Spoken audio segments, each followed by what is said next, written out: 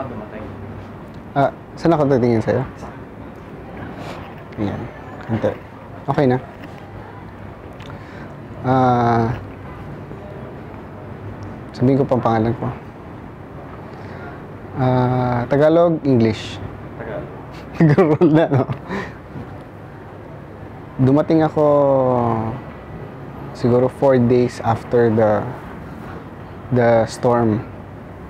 Pagdating ko sa airport, ano, sirang-sira na yung airport eh.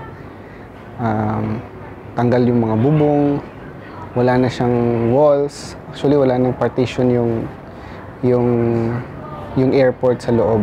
So, tapos pagdating ko doon, ang dami ng mga rescue ah, ng mga tao na dumating para tumulong din sa Tacloban.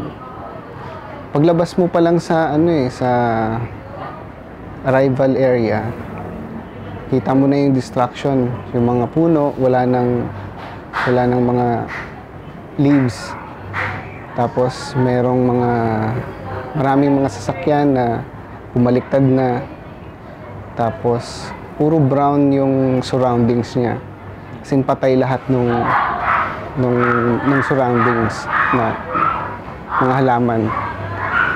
Um, yun. Anong, anong impression mo sa nakita mo?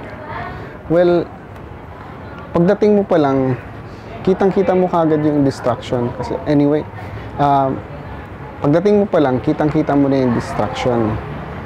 Doon pa lang nga sa papalanding na kayo, ang makikita mo lang lahat puro brown. Wala kang makikitang vegetation, wala kang makikitang puno.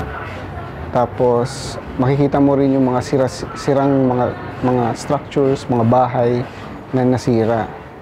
So pagdating mo lang actually sa airport, overwhelmed ka na kung ah, sa destruction na nakikita, nakita ko.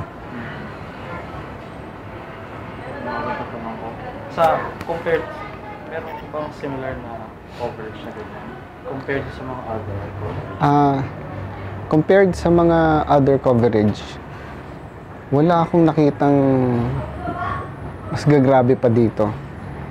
Ito, ito na talaga siguro yung pinakagrabe kong nakita kasi yung yung dadatingan mo pa lang ganun nakagrabe yung distraction eh. Merong mga truck na nakasampay sa puno tapos um, paglabas mo pa lang ng airport marami pang mga patay na naka nakahandusay. Tapos, ano nga eh, um, nakapanglulumo kasi yung patay na tao, magkakatabi lang siya ng mga patay na hayop. Yung parang wala silang naging difference. Yun. So, sa tingin mo ngayon, ano pa yung kailangan ng mga tao during this, di ba, rehabilitation phase na Mm.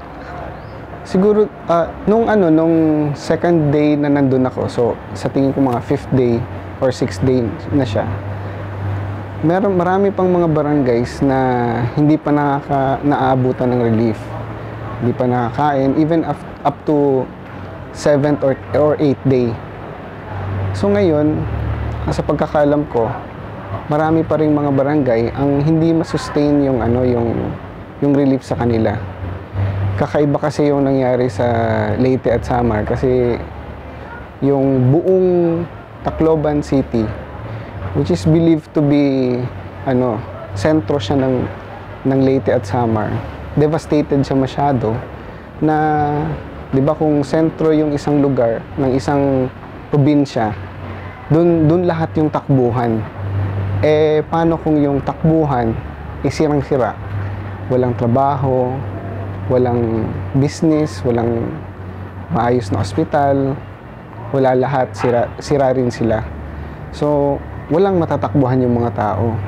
So, sa pagka ngayon, sa- sa ngayon, sa ngayon, um, marami pa rin mga ospital ang hindi pa na nag-ooperate or yung mga, lalo na yung mga tahanan na nasira, hindi pa maayos ng mga tao kasi wala rin naman pwede mag-ayos kasi marami sa mga mga residente doon kailangan din nila ng mga mga karpintero lahat para ipagawa yung kanilang ano, kanilang mga tahanan.